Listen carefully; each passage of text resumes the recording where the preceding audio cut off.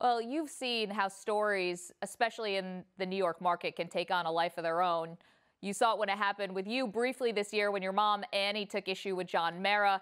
Now it's the wide receivers and their trip to Miami. What's it like dealing with that type of hailstorm? Um, it's cool, I guess. Uh, I know being in New York, the media likes to, you know, make big headlines and stuff, but um, you just gotta stay within your character and don't try to press or act new for anybody. Just be yourself. You know, the story with the wide receivers going to Miami, it's started to pick up a little bit more steam now because of the allegations that there was marijuana and Adderall on that boat. Has it become a distraction at this point? No, not at all. That's not something we've been thinking about. We've been focusing on Green Bay.